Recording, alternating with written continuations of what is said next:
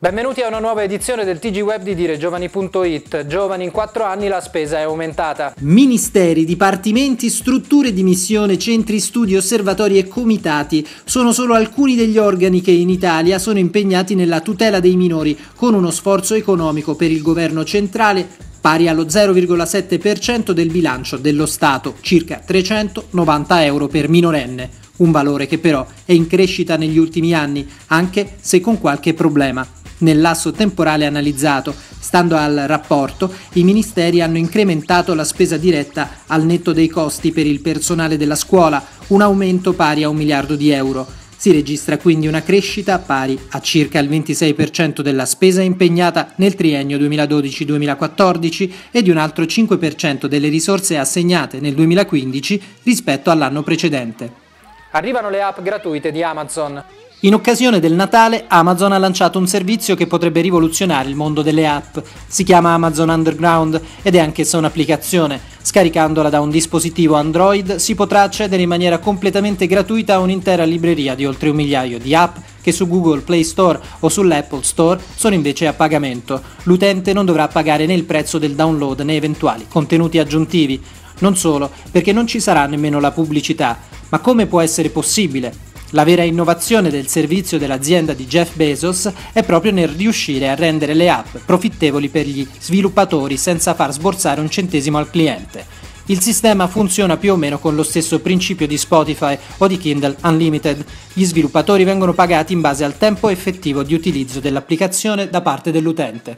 Anche i buchi neri hanno un limite. Anche i più ingordi non possono rimpinzarsi all'infinito e questo vale anche per i buchi neri, oggetti tra i più misteriosi e massicci dell'universo. Uno studio di Andrew King, Università di Leicester, UK, dimostra che possono inglobare stelle, gas, polveri e quant'altro passi loro vicino fino a gonfiarsi al punto di raggiungere una massa equivalente a quella di 50 miliardi di quella del nostro Sole, dopodiché non possono ingurgitare nient'altro. Il motivo pare semplice, raggiunta quella stazza perdono i dischi di gas che li circondano, al cui interno ci sono i gas e le stelle di cui il buco nero si nutre. Secondo questa teoria, quando il buco nero diventa troppo massiccio, il disco diventa instabile e si distrugge. La Ryder Cup 2022 sarà a Roma. Roma si è aggiudicata l'organizzazione della Ryder Cup 2022. Lo si è appreso nel corso della presentazione del logo della candidatura di Roma ai giochi del 2024. La gara di golf tra Europa e Stati Uniti che si svolge ogni due anni si giocherà al Marco Simone Golf Country Club di Guidonia.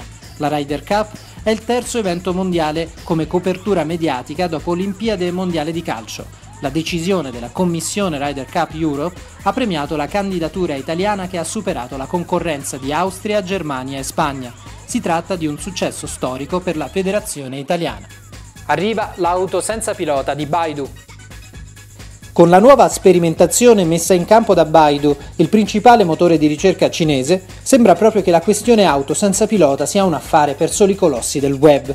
Se Google prosegue infatti la sua sperimentazione sulle strade urbane di California e Texas, le sue vetture hanno già collezionato oltre 2 milioni di miglia percorsi, Baidu ha già conquistato le autostrade. Sia lungo i percorsi cittadini che quelli autostradali, la BMW Serie 3 scelta da Baidu si è cimentata con inversione ad U, retromarce e persino sorpassi.